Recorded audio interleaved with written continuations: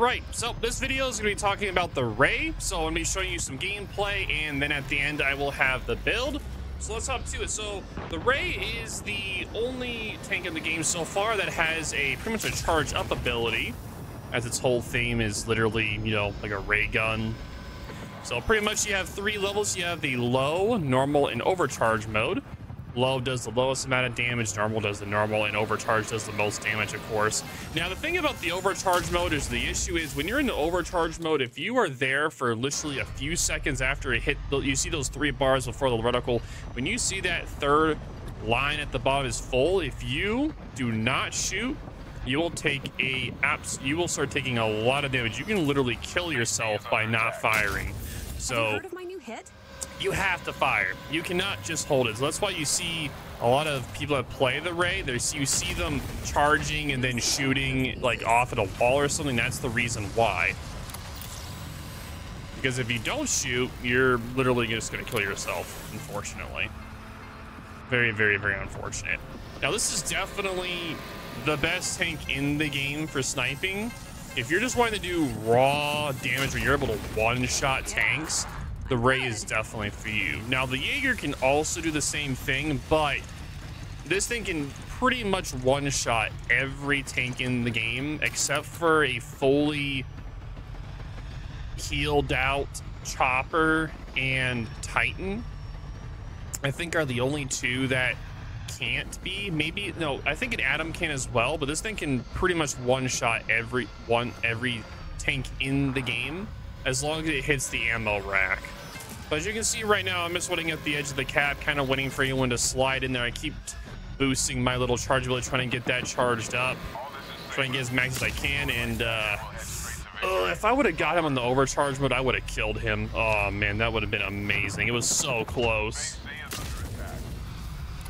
But yeah, um, as you can tell, though, it being a sniper and with its charge ability, it is kind of vulnerable. But, uh... I may be vulnerable, but, uh, so are they if they don't get out of the way of the gun's gun. Ah, that poor dude. No, no, I'm too young and pretty to die. The poor dude. So very unfortunate. Now this batch is pretty much pretty much is already like it's very much in control. Like we're at 1200 points and they're at 500 so there isn't really too much they can do. It is a disaster for them for sure.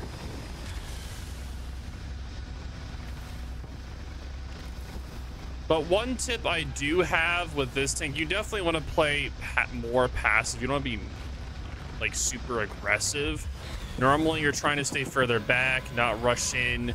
Usually wait for your team to be around. And you're always trying to get those critical hits. Just because of how long the charges are, you have to... You have to get those charge hits. Like, you have to hit those skills critical hits. And so normally you need to be really good aim to be able to do that sort of thing. But as you can tell, I'm going to make a lot of mistakes in my aim where like I'm like I'm I'm actually super mad about that particular shot because that whole turret on the Ken is legit a giant ammo rack, and the fact that I did not do anything to him at all, I was like, oh man, that was very unfortunate. Very, very, very unfortunate.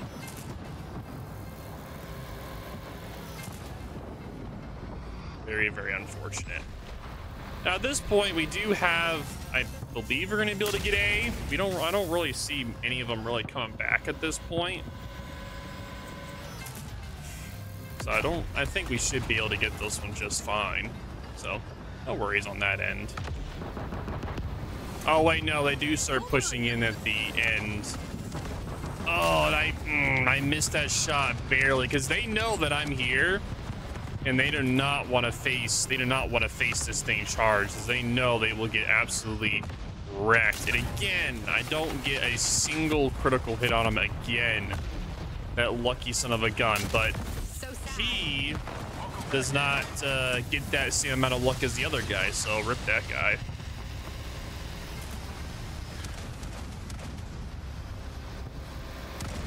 And Yep, uh, oh, on. oh. Yeah, rip him.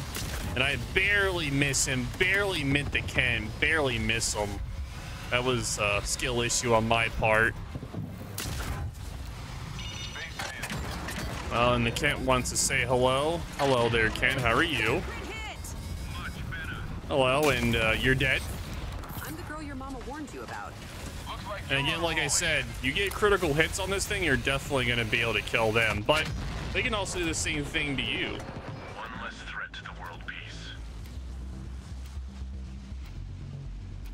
Very, very unfortunate for me, but also very Not unfortunate today, for them. So I'll take it. But yeah, this alpha test so far has been, I think it's been really good. It's, the game does feel very polished. Even though there are bugs, of course, that I'm seeing, they have also been doing quick patches and doing a lot of balances in the game, which I've been also liking as well. One thing, though, I would like for them to do is kind of make it where if you're capping or contesting, it stops the point gain, but I think that's like the only real like thing I've seen. I also did not get a critical hit on him either, which was very upsetting.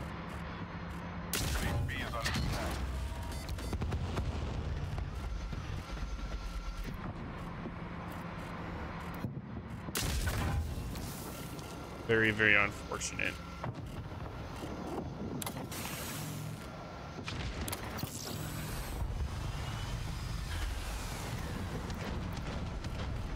Yeah, unfortunate, dude.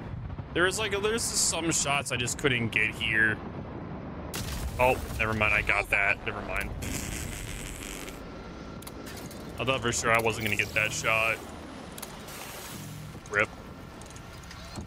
So I do have two gameplay matches to watch. Now, this one is a win, of course, as you can see. But the next Okay. match Maybe I'm not going is not to gonna Iowa go as swimmingly because on that match it was kind of rougher for me to go in uh, due to the nature of the match. So as you can see, this match is the one where you have to do the domination with the one cap, where your team has to get that. So I kind of take up a sniping position because trying to push in with this thing is legit a no-go.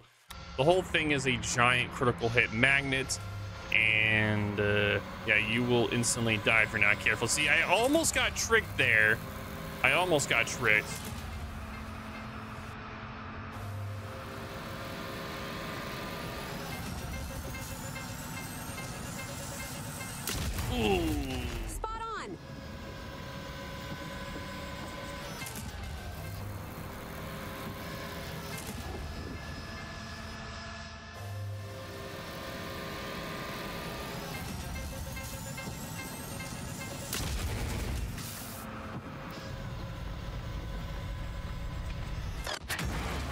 Yep, and uh, as I was sniping, I did get rushed by a Rakata, so nice.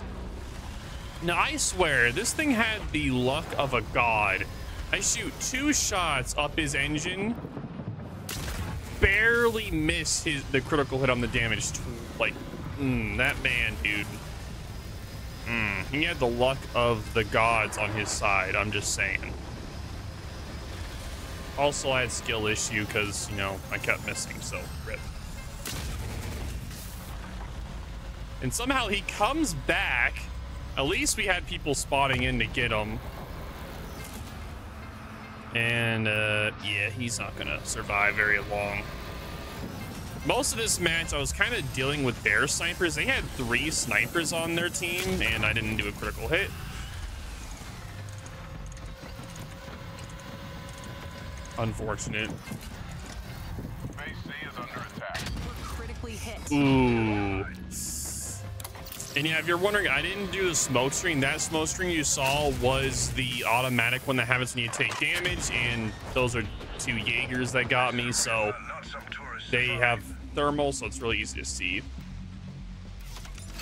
They're gonna regret this. But yeah, I pretty much just go back to the same spot. Just I try to go in a little bit different of a spot, but same area, so I'm able to at least try to push them away from sniping our dudes. But one of their dudes was really smart and sat behind a rock where he could still shoot at them, but I couldn't shoot him. He was pretty smart for that.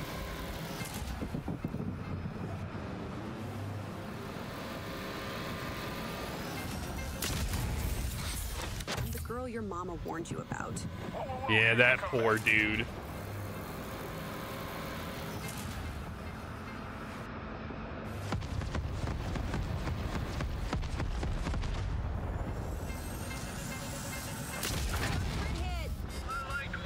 And I didn't do any damage to him because skill issue.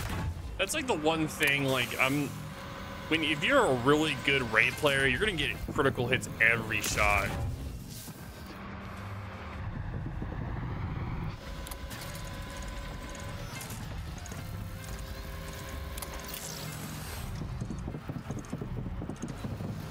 And he was over there trying to shoot me. I see you. Ouch. That was uh that was not fun.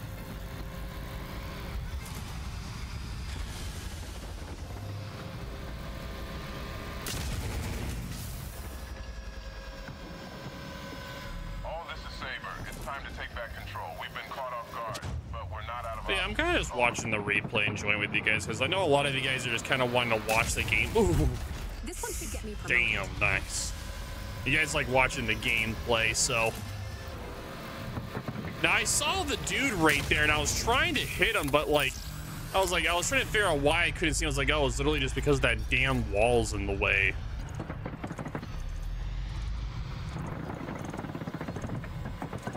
And of course, I uh, I didn't take the time for the reticle to get small, and skill issue on my part.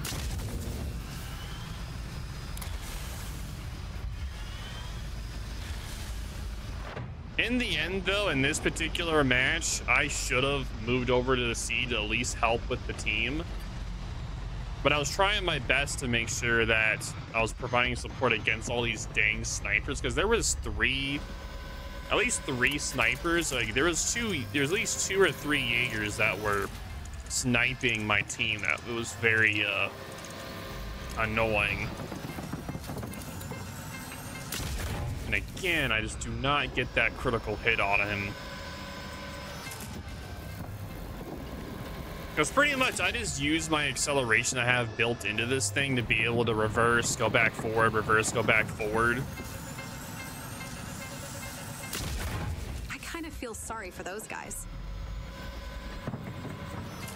I'm surprised he sat there long. And like after me doing that much damage, I was surprised he kind of sat there and let me do that. That was very surprising. Base C is under attack.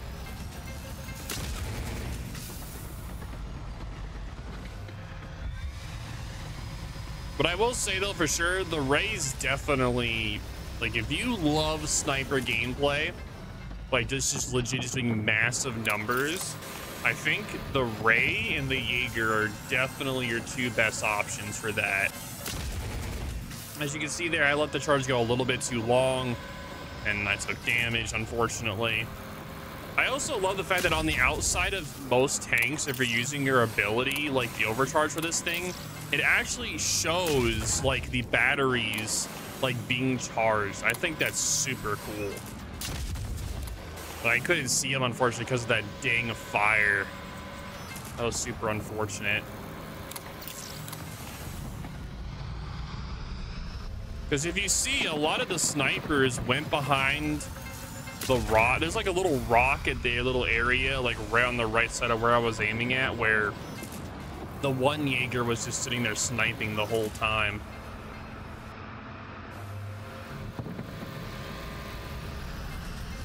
He was doing a really good job making it, and he, he thought he would trick me.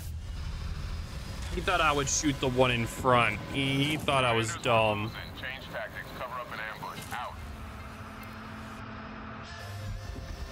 He thought I was dumb.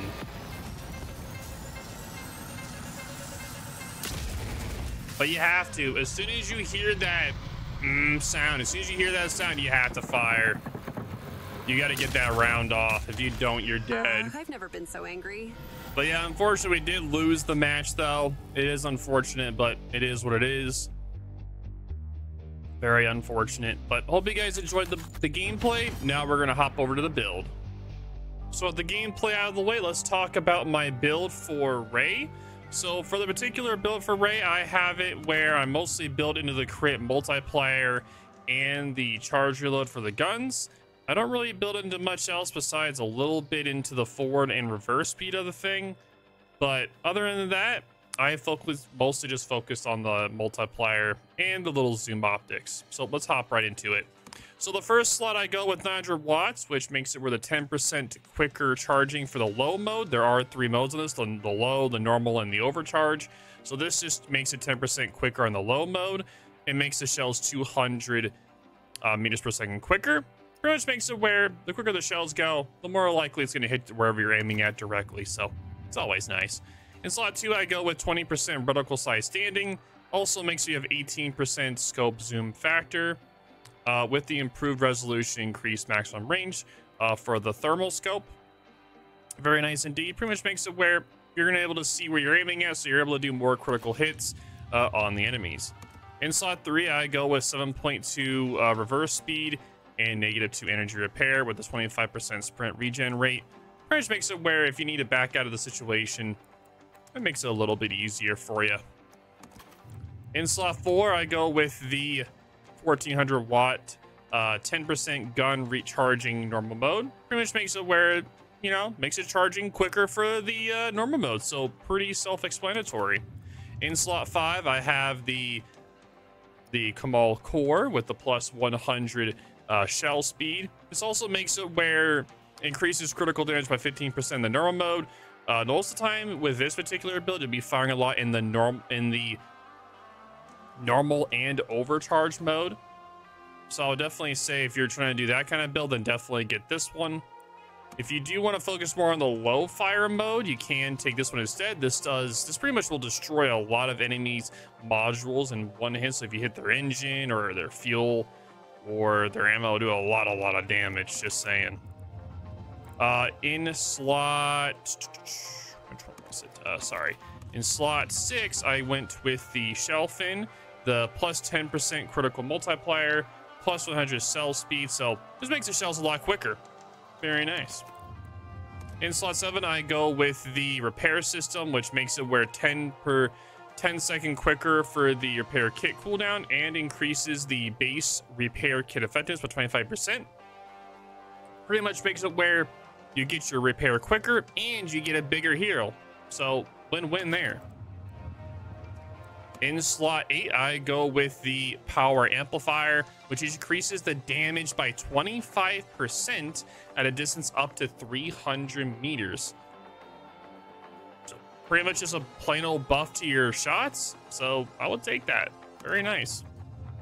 In slot 9, I have the uh, 600 watt res resistors, which uh, gives you a plus 550 shell speed and eliminates dispersion overcharge mode. So wherever you're aiming at is where the shell's going to be going with this with this uh, buff there. Uh, for the final upgrade, I went with the magnetization coil, which makes you have a plus 25% critical multiplier. It also makes it where if you deal two critical hits to receive 100% charge boost for the next shot. Makes it a lot quicker for you to get those shots. Very nice. It does make it, though, a longer charge time for the overcharge and a longer time for the normal. But that critical multiplier is massive and it makes where you're able to one-shot a lot of tanks if you hit them in the run spot. I think the only one that doesn't is a fully built Titan and a fully built Chopper are like the only ones. And maybe an Atom, maybe an Atom as well. But moving on to the consumables, the consumables are spells like self-explanatory. Uh, repair kit, that's pretty simple. Uh, with the next one being the extinguisher, and then the uh, stim pack, uh, which makes you have a 5% quicker reload for your, well, faster quicker reload, which means 5% quicker charging for your gun. Now for perks, I have the increased railgun charge by 5%, self-explanatory, quicker reload. In slot 2, I went the engine acceleration by 10%. Just makes it where you get the top speed quicker in reverse or going forward. And finally, I have the improved gun stabilization when shooting on the move by 15%. Pretty much means when you're on the move, you're just more accurate when you're moving around. But anyway, that is my video on the Ray. If you guys have any questions or concerns, then they'll know in the comments down below. Uh, but yeah, thank you guys for all being here and talk to y'all later.